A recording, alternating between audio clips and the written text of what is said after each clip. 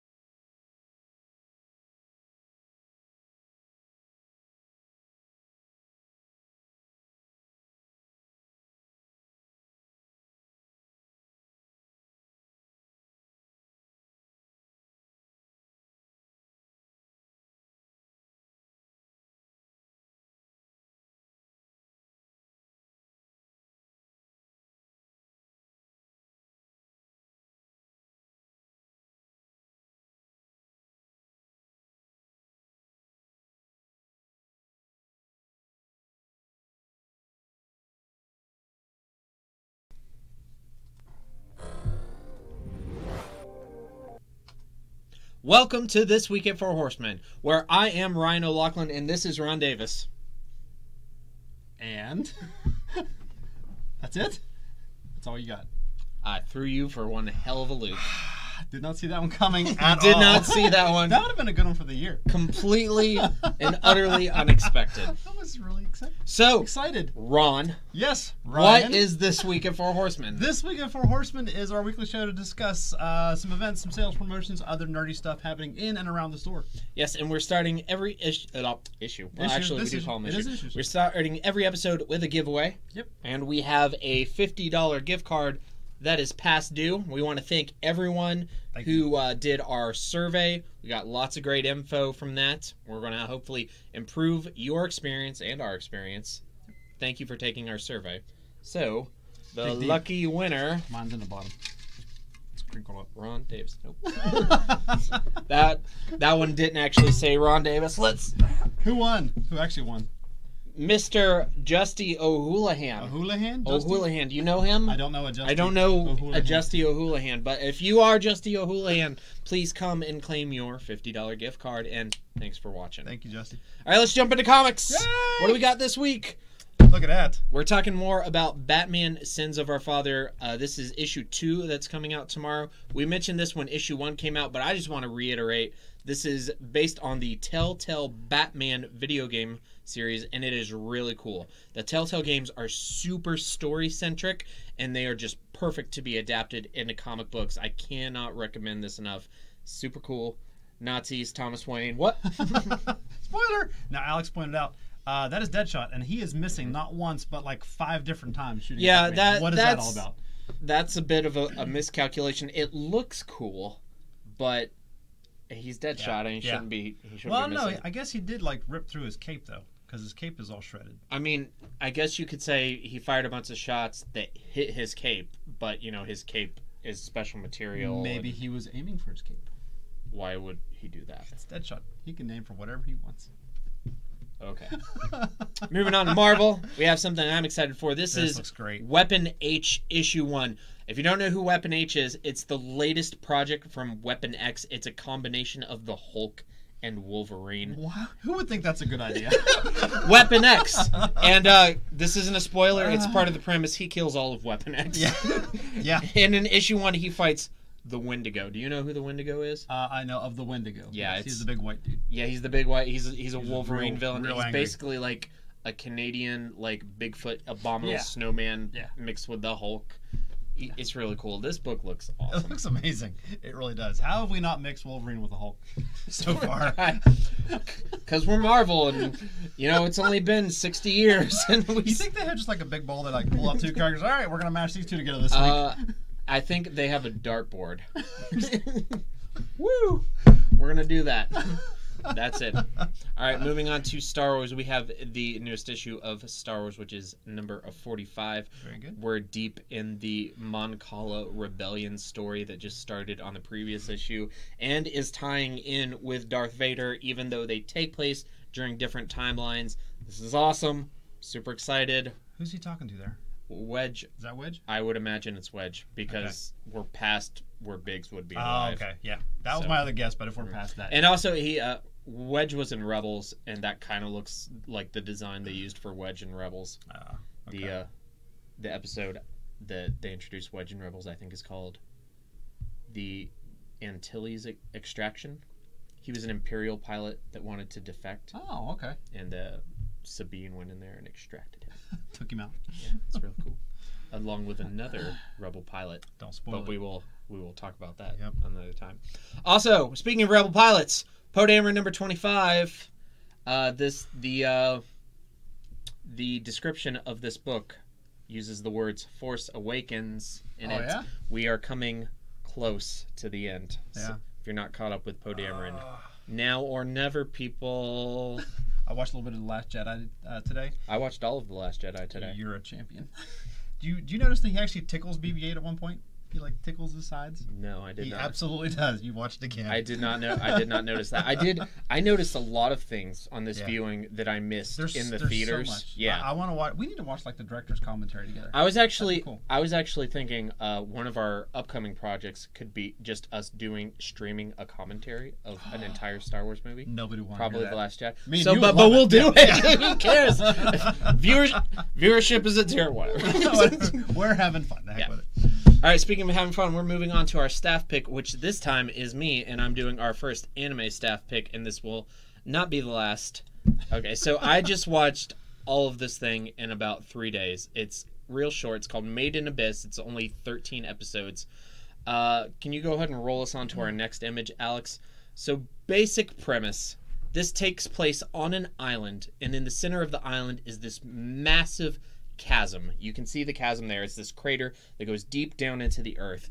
And there's this Attack on Titan ish world building where the people live on this island and they venture down into the chasm as cave raiders and look for relics to sell to make money and that's how they earn their living but everything down there is super dangerous there's tons of monsters there's tons of uh, natural difficulties a lot of people who go down there die but that's still like that's how they have chosen to live their lives and the world building in this anime is so fantastic Hmm. uh, So the top is the island, and they just like that is down in the earth. Okay. Yes, and they My act. There's actually like a curse. Once you go so far down, you can't go back up because once you are inside of the chasm, anytime that you ascend, you fall all prey to the curse. Now it's, it's broken up into levels, and if you're at the top level and then you ascend, Right. you get nauseous. And then Huh. if you go down to the next level and you ascend, you get nauseous and you start bleeding. And it gets worse The and worse and worse the farther down you go. eh, To the point where if you go down so far, you can't go back up without dying. Wow. And the, the story revolves around these two little kids who are trying to get down to the bottom because one of the kids' mother is at the bottom and she sent up a letter to the top that she needs to come down there. Why didn't you just send up a bunch of relics? They could buy their way to the bottom. you you can't buy your way to the bottom. It's it's it's a like the wild west of monsters down there. Ah. I I, I thought the first the first episodes, couple episodes were a little slow, but the world building kept me watching. And as you get into the second half of it, it gets super dark and bad bad things happen to these little kids. That's really cool. I like it. Yeah, it's bad. bad things happen Bad to things. kids. Uh, I'm in. it is free on Prime. You can watch Oh. it on Prime right now. So Check it out. I recommend it. Cool deal. So what do we got next? Uh, we have the versus series. we have Bender versus Beetlejuice. Shut up, Bender wins. Bender took it. Yeah, he bent. He He no, Beetlejuice took it. he bent Beetlejuice over his knees. Stop there. Stop there. Beetlejuice is forty percent a loser, Just forty percent. Just forty percent. But Bender is forty percent the See, winner. I I can't even see these two fighting. I really can't. I but I could see Bender fighting just about anybody. Bam. yeah, any human. Yeah. Yeah. Yeah. Well, I mean, what is Beetlejuice just a ghost, or is he like a malevolent spirit? I mean, what is he actually, Yeah. And how? or, or is he like a demon that can interact with spirits? What is Beetlejuice? yeah, I, I don't. That's never defined. I, yeah, because I don't know. Yeah, he's he's Michael. This is the truest form of Michael Keaton. That's his true form. Yes. All right. So, who's coming up next? Uh, this week we have, bam, quality quality programming here at Four Horsemen Comics and Game. Bam. This week we have Dream versus Iceman. First, give it. Hold on. Dream is not super well. Give us a little bit of an intro. Who who is Dream?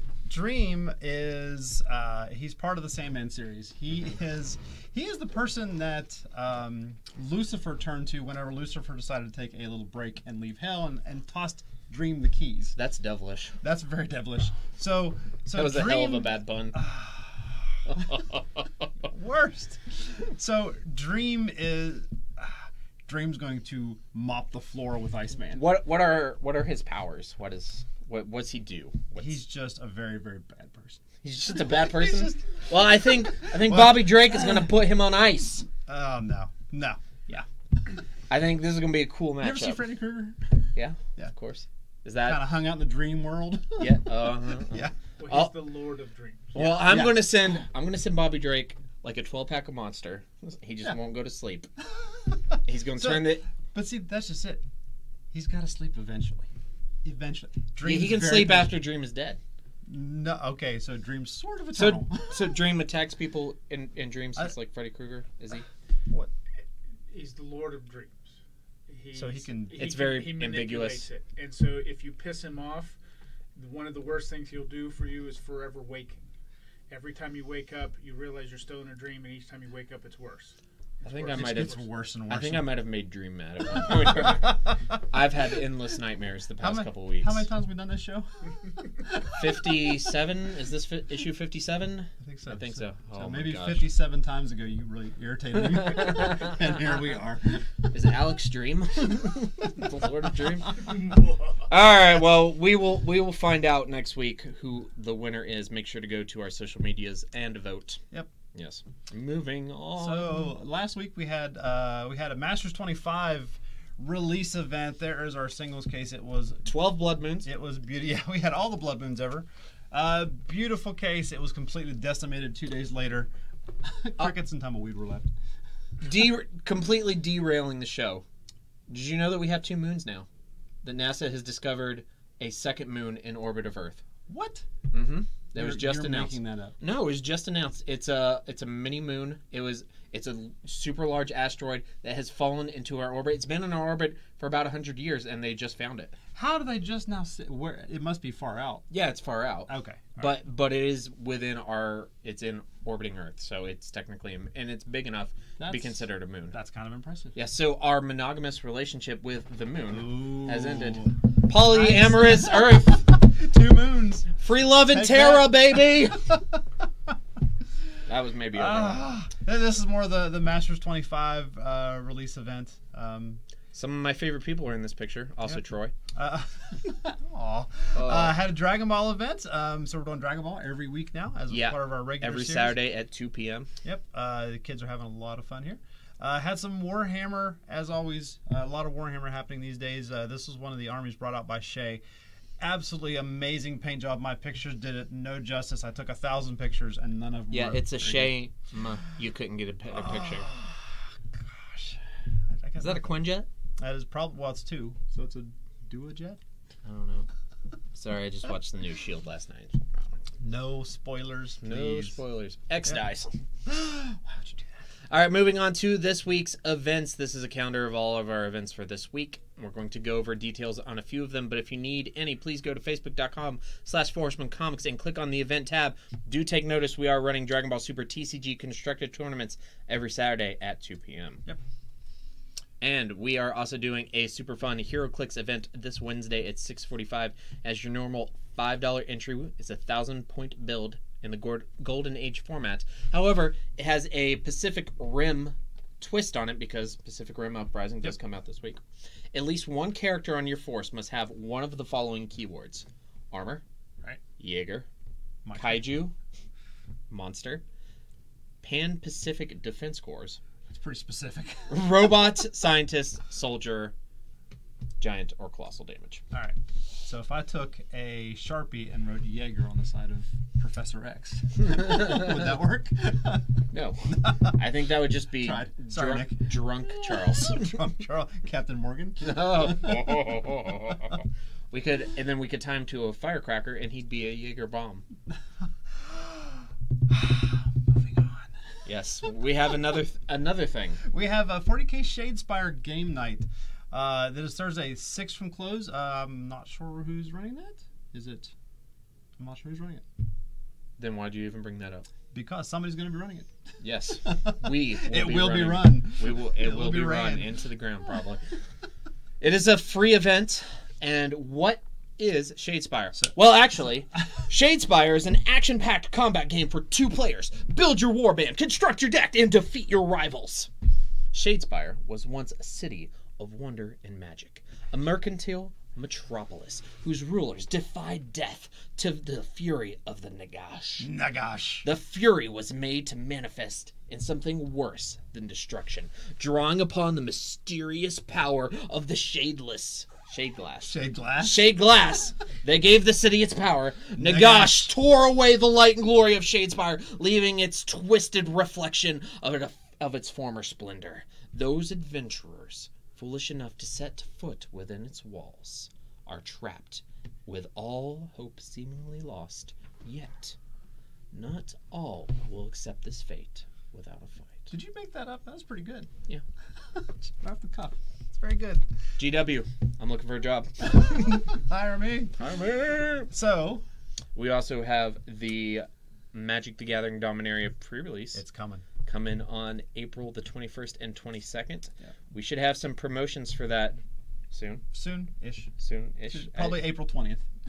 That's generally how we Now, do this things. is this is This one of the huge. one of the biggest Magic releases. Can can I can I Of- give a spoiler about our, our pre-release event? Sure, I mean Uh, promote your events. All right, so so so the the premise behind Dominaria is they're going back to where it all started, right? Yes, So- Dominaria is the plane where all of the original Magic the Gathering sets take place. All right. So we thought it'd be kind of neat to take uh, Magic back to when it far- first started back in the mid '90s. So we're gonna play without rules. So we're basically going to have a '90s themed release, complete with Dunkaroos. That'd be awesome! awesome. Let's drink some Tang. That's rad. Listen to NSYNC. There, uh, I can neither confirm or deny- that there will be Wonder Balls present. if oh, I choke, wonder, wonder, who my do my whoop. What's in a wonder, Wonder ball? ball. All right, Yep. sorry. So- Could be Nestle chocolate or candy shapes inside. All right, all right. Viewership is dropping. Terrifying. Yes. Uh, so yeah, uh, more details are coming, but we're, we're that's the angle that we're playing. We're gonna party like it's 1993. What's your favorite movie from 1993? Uh, Star Wars. It's, it's standard answer. All right. Well, uh, that's the only question I've ever heard to which Star Wars is not the correct answer. That is an incorrect answer then. Okay. Uh, Tabletop Day is also coming up April 28th. We are still looking for some volunteers. Um, we have a local game designer, Darius, is going to be coming in to uh, demo his game. Uh, so come out, check that thing out. We uh, are still looking for demo uh, runners and volunteers. So if you Yeah, I've been uh, I've been placed in a Facebook group chat uh, with Mr. Spears, Mr. Ackerman, and the rest of the crew. Yep. And I'm sorry that I haven't been active in that, but they are blowing up my phone all the time. Preparations are being made. It's like the North Pole 20 days before Christmas. They are going crazy for this. Yeah.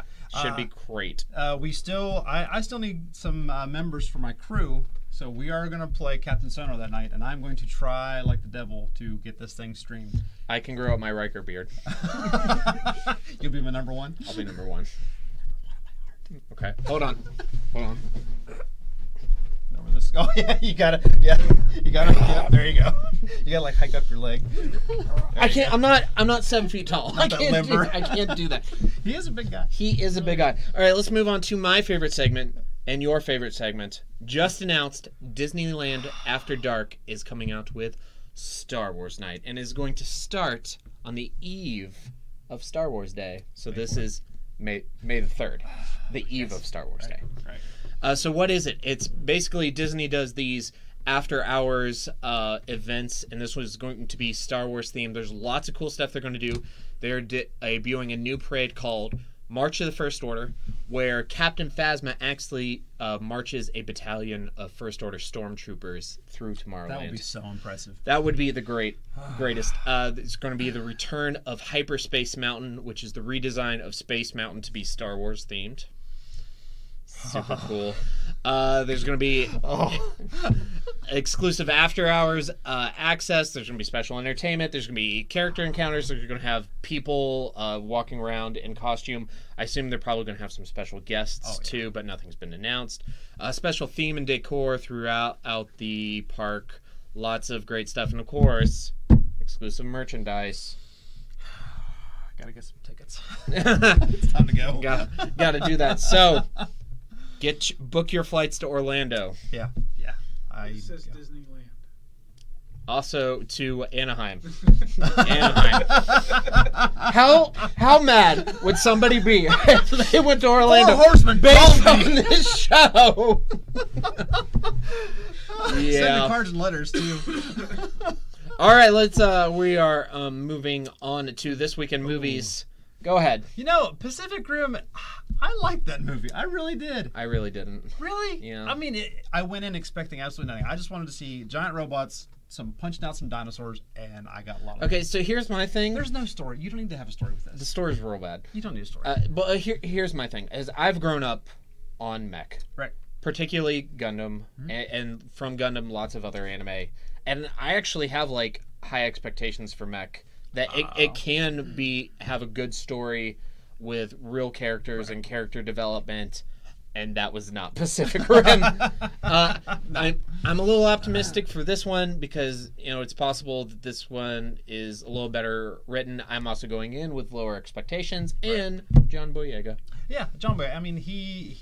Now, is he? Do you think he is the son of of? Idris Elba. Okay. Yeah, Okay. I I think that's confirmed. I would think. I, I think that'd be a. Idris Elba really stood out in the first movie, as he does in Yeah. every movie he's oh, yeah. in. Yeah. Um, yeah, uh, you know, talking with some of the people that put together some of the Gundams and listening to some of their tales of, you know, Gundam Wing and, and all those. Oh, it's the, the, there's that's- a rich story behind all of it. Gundam is the Star Trek of Japan. Yeah. It, it's it's phenomenal. It's pretty cool. Yes, Pretty cool. It is. Speaking of cool, Cool. Countdown to Infinity, week We're 11. Ant-Man. Talk about going into a movie with like no expectations or low expectations and then just home I- run. I almost didn't go see this movie. I, I had How- no interest to go see this How movie. upset would you have been if you like saw it like on video Oh, like I'd be later so down mad. Oh my I'd gosh. be so mad. It was such a good movie. Yeah, it, it really is, and uh, I'm excited for. Now we're talking about uh, Infinity Wars, but the sequel to this, Ant Man and the Wasp, comes out in July. Yeah. Yeah. It looks It's. so good. I know. I if you haven't seen this movie, just go see it. Just go see it. It- it- grab it on video. Mm-hmm. It is a lot of fun. Um, I knew nothing about the character other than he's a little ant dude. Well, I, I was actually uh, a big, a a relatively big, big uh, Ant Man fan, just based on the Avengers uh, cartoon. Right. Yeah, but that's Hank Pym. hmm That's different. Yeah, this Ant-Man. is this is Scott Lang, Right. different Ant Man. Hank Pym is in the movie. That's uh, Michael Oh, Douglas, yep. good save, son of Mr. Douglas. Kirk Douglas, Kirk Douglas. I knew that. one of the the greatest actors of his era in Hollywood. Uh, Romancing the Stone. No. Seen that one? No, no. He was in that one. What was Kirk Douglas in? Like every Everything? every every awesome western you haven't seen, Okay. and that's That why we're on that. it. The, Western. Got Yes. It. Gotcha. there there there are some westerns out there that appeal to people who don't like I westerns. saw the Hateful Eight. Is that a Western? Yeah, That was a good Western. I mean, yeah, but that's that's Quentin Tarantino, so that's It's not a western. I mean, it's it's set in the West. Okay, so it's it's like that's like calling Star Wars science fiction. It's in a science Oh, fiction yeah. setting, but it's not really science fiction. All right, Ant Man. But we digress. So, It gives us Ant-Man. Yes, tiny tiny expectations, big payoff. Yep. Yep. Awful. Uh, moving on to the Four Horsemen mailbag, we have a viewer submitted question. What is your most embarrassing Star Wars story? Safe for work. Ooh. You go first. Let me think of one. I don't know that I have one. I- I'm not embarrassed of Star Wars at then- all. Then White, I sent this to you earlier today so that you'd be prepared and come with one. Prepared. Surprise! You got me with the opening. I got you with this one. We're even. No, I I, I want it. I want you to take a week to think about this, and I want you to come back next right, week. I'll come back next week. All right, we're But I gonna- don't. I don't think I have anything embarrassing with Star Wars. Well, all. it doesn't Oh, have- Actually, I do. Okay. Uh, I was at a Star Wars convention, Mhm. and there was a guy that was like, uh, I can't remember who he was dressed up as. He was looking out of a window, and he just had like these bright white legs, like no suntan on his legs at all. So I went to take a picture, and he caught me taking a picture. That was. It was at a Star Wars convention. Does that not count? I don't. I don't. That What was yours? Uh, okay, so when I was in high school, Mhm. uh, I had my two great loves were Star Wars And Star Wars. and the lava game. You're familiar with the floor is lava. The lava? floor's lava. Yeah. Yeah. Okay. Uh, I was uh, when I was, God, I guess I was 16. and the, the floor's still lava. Gotcha. in my, in my bedroom, playing the floor is lava by myself with a lightsaber, acting out the, the Mustafar scene. Yeah. where I'm Anakin and I'm I'm standing uh, on the st- my my room was in the basement. Yeah. Of course. and I'm standing on the stairwell that's in the doorway of my room, and I have a couch that's about three foot away. Three well, it was a futon. Yeah. Uh, that's about three feet away, and I, I'm You could totally Anakin. make that. you could totally make that. I jump and I land on the arm of the couch and slip and bust my leg off the couch uh, to the point where my mother had to take me to the hospital. so yeah, Nice. That's good. Yeah. That one beats mine by a lot. yeah, I was the chosen one. you did not have the high ground, clearly. God. All right, uh, moving on to Did You Know Four Horsemen? Let, let's re-highlight that to blue. Blue? Blue. I'm blue. Yeah. All right. So, so if you come in the shop, if you're looking to learn how to play a game, we always try to, to help anybody learn how to play a game. Pokemon, Yu-Gi-Oh, Magic, whatever. Uh, uh, Wizards of the Coast actually gives us these really cool little decks called welcome decks. Uh, you come in, ask any staff member, say, "Hey, what is this Magic thing I'm hearing so many so many people talk about?" We will pull one of these out, teach you how to play, and you can take the deck with you when it's gone. It's a little two-player deck. These these are made by Wizards of the Coast, and they send them to us to hand out for free. Yep. Free free magic cards free demo as long as you know we're not solo staffed with a, A line out the door yeah. yeah Teach me. yes come and learn the magics Yes. Pick a color green is the best Black and red. yes and then we also have a sale this week our sale is going to be 10% off of star wars legion Star Wars what is Legion. star wars legion Star Wars Legion. It is a new game. Uh, we're going to have it this week coming up. We have actually a demo copy here in the shop. If you want to learn how to play that, come on in and learn how to play. Speaking of demos, uh, Star Wars game. Imagine Warhammer. So we've got the little figures, Star Wars themed, um, very skirmish based, very uh, troop movementy kind of things. It's really cool. The miniatures are fantastic. Uh, we have ATSTs, which is always good. scott walkers Scout walkers, chicken I, don't know, walkers. I'm, I chick am chicks. I am just so obsessed with the gorilla walkers. Like they are, they are so cool. that probably sounded really good on the microphone. Probably, probably didn't. Sorry, Alex. Yeah, come in, check out Star Wars Legion. Yep, uh, ten percent off. All right, we're moving on to our closer, but stick around for the post-credit scene. This one's a doozy. Please like us at facebook.com slash Four Horsemen Comics. Follow us on Instagram at Four Horsemen Comics. Uh, watch all of our content at youtube.com slash C slash Four Horsemen Comics Gaming. Follow us on Twitter at the number Four Horsemen Comics. Watch all of our streaming content at twitch.tv slash Four Horsemen Comics. And shop our TCG inventory at shop.fourhorsemencomics.com. All right, we uh, I I had to make some executive decisions in terms of our dice rolling uh our our game. Okay. So we were supposed to do a scene from Glory, the which is a phenomenal Civil War movie. If you haven't seen it, Matthew Broderick, Morgan Freeman, Denzel Washington, Cary Elwes, phenomenal cast, great movie. Edward Zwick is a wonderful director. Highly recommend it.